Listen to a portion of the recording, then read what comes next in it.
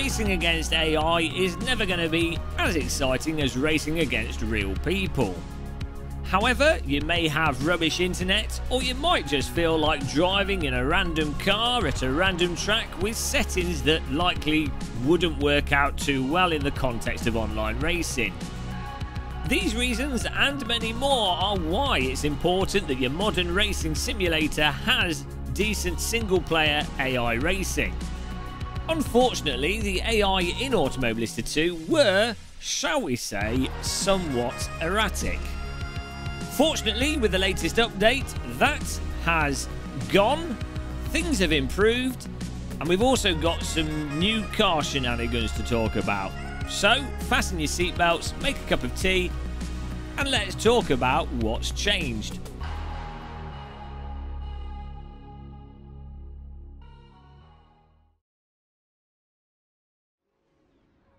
This recent update, I would say, is absolutely huge for those of you that like to do offline racing against AI.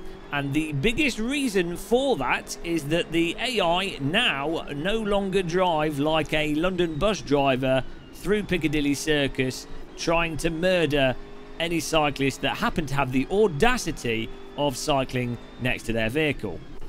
Basically, the AI no longer spontaneously wibble wobble sideswipe all over the place and they hold their lines and drive their lines and change from their line off their line in a much more convincing, believable, and smooth way. Now you might think, oh, that's that's a really small improvement that will have an inconsequential effect on the game. But you'd be wrong if you thought that, because the end result of these changes is that the race driving visually and actually in terms of what you're doing driving becomes a lot more believable and realistic. Though, if you did enjoy the NHL Hitz experience of the previous versions of the game, uh, you'll, you'll be very disappointed now. But yeah, you know, ultimately, it's it's just far more believable to do the AI racing. Not having the cars dart all over the place like an out-of-control snowboardist means that you can much better predict what's going on in front of you to then make a decision on how you're going to make a move and how you're going to overtake the AI cars. A result of these AI tweaks as well is that there's a lot less crazy AI accidents, especially on tighter corners and some of the chicanes on some of the circuits, which previously would literally just break the race because the, the AI would have a little bang together and then everything would stack up. Now, you definitely get a lot less three wides and the AI in general is a lot less aggressive and you do end up with a lot more convoy-ish type racing and I'd say it's more convoy-like than what you see in reality and certainly more convoy-like than what you see online. But as you can see there right in front of us, there's a bunch of cars two wide. He's making a move. He's gone over the sausage. There's still battling going on. The AI still does make moves and it's still quite an interesting experience racing against them. The AI also seemed a bit faster at the start of the race off the uh, off the grid not perfect. Look, you will if you just start when the lights go out and you're starting at the back of the grid, you, you will easily pass five or six of the AI, and then you know, as is with all AI racing, if it's a tight T1 corner, you can pass even more.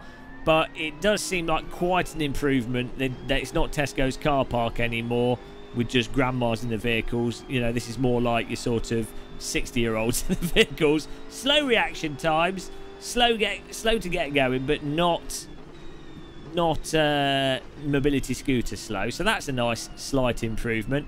And then also when the AI go off track or you drive them off the track by punting them, uh, or they punt into each other in front, they uh, don't block the road up as much and they don't seem to slow everyone else down as much. So, you know, it's just lots of tweaks and improvements and polish, which Reiza are so good at, um, that has resulted effectively in, I would describe it as a good 6.5 out of 10 tea bags AI experience. Basically, your average player and probably the type of player that likes to do more AI racing will find the AI as it is right now pretty satisfactory. As you get to higher skill levels or uh, you know more used to cars and faster lap times and you, you you're more used to online racing and more adept at racecraft and stuff you will obviously still find the AI rather underwhelming and you you know you work out where they're slow and then it just becomes quite repetitive beating them. But even as an AI hater that I am I have to admit they do perform their function really quite nicely at this point in time in AMS2 good job on the AI there. Good update. So also in this update we've got the BMW M6 GT3 and the Ginetta G55 GT4 Obviously, in this video, we're driving uh, a GT3 Field with the BMW M6, and this car I would describe as interesting in Automobilista 2. As is the case with every single driving simulator, uh, it blows your mind, and not in a good way, when you go from iRacing, ACC, Original Assetto, rFactor 2, RaceRoom, and Automobilista 2, go from each sim, they all have their own interpretation of real world physics and obviously AMS2 is no different. Um, so you have to approach this very differently to ACC which is what I've been playing quite a lot of recently. Uh, not necessarily in a, in a, in a bad way. There's the, the force feedback in this uh, BMW M6 is a lot more informative especially mid-corner sort of loading and the sense of like uh, sort of grip and uh, variation in the force feedback is, is better than Assetto Corsa Competizione. Um, the car as well is a lot more nimble and sort of has a bit more poise to it, a bit more snap to it than the cars in ACC, which is still a lot more stable and a lot tamer than uh, than this car, for example, in Automobilista 2. The big thing with uh, Automobilista 2, though, which is quite tricky still, and is the case with this BMW M6, is the lack for the front to want to bite in. Yeah, I feel like I'm just uh, mashing on the brake pedal to get on braking, nose in to go into the corner. And uh, it, the lift off oversteer again is just like so. There's barely any lift off oversteer. So much so that, in, in a sense, it seemed to me to make more sense to put a bit of brake on was pushing the throttle to try and get the nose in, which just seems a bit weird. But um, you know, and uh, then also a characteristic of this is that you seem to have to put a lot of steering lock in to get the cars to turn around the corner, which is something that was uh, a, a, known technique in Project Cars 2, which I, I don't necessarily mind. I, I, don't care. Personally, I'm not a snob with these things as long as it feels generally like a car. But uh, when you go from sim to sim and you have to make these adjustments, it, it like blows you, does your head in especially if you're then trying to race online and, and be and be uh, vaguely competitive. But you've got AI that we're racing against, and they we put them on a like 80 or 90, so they're nice and slow, so it's all right. Um, weirdly, the uh, BMW is really quite progressive on the throttle. As long as you've not loaded the tyres up totally and you, when you're carrying through the corner, uh, you, you have a lot of slack with the throttle and you can really nicely modulate the throttle pedal out the corner to control the amount of rear slip uh, and uh, so the sort of on power oversteer and the on power getting the nose of the car in or getting the back out on the power is really nice, really pliable, really progressive, and really communicative.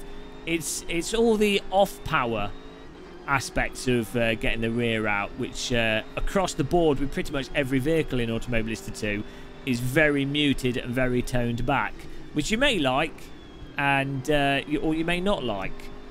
So that, that's just that's just the character of the simulator as as I'm noticing it. Though uh, I, I, think as as new updates have come out, this one hasn't changed since the last one, but as updates have come out, I I think liftoff oversteer has increased a touch, but not a huge amount.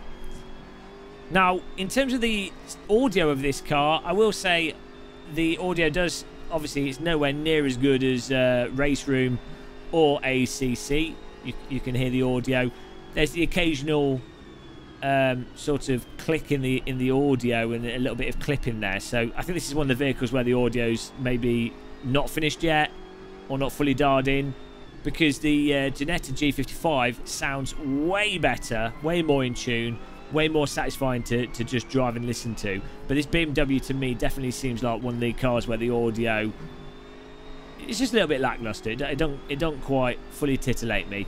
Though, you know, we've been massively spoiled with audio in driving sims as with RaceRoom, um, AC mods, and, and Assetto Corsa Competizione.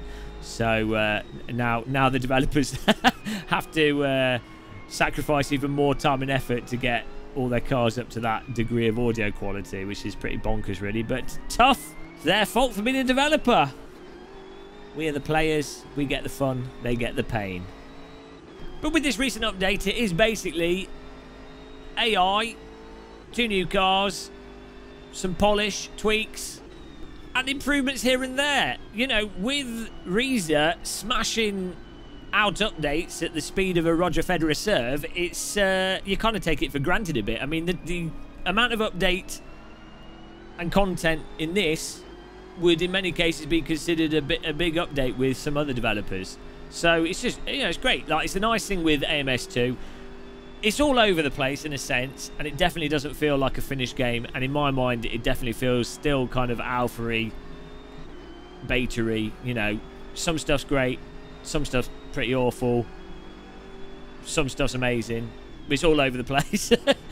but at least you know if you have got it that new stuff's going to keep coming out. You can have a lot of fun with it, and it's only going to get better.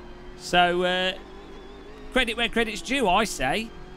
Before we get to the end of this video, I want to reiterate that you do have the feature in AMS2, which I think is awesome, of being able to create your own server and fill it with AI, but also have a couple of human players in there so you can do racing with your friends, but with a full grid. I think that was really awesome. I'm surprised it's not in more simulators.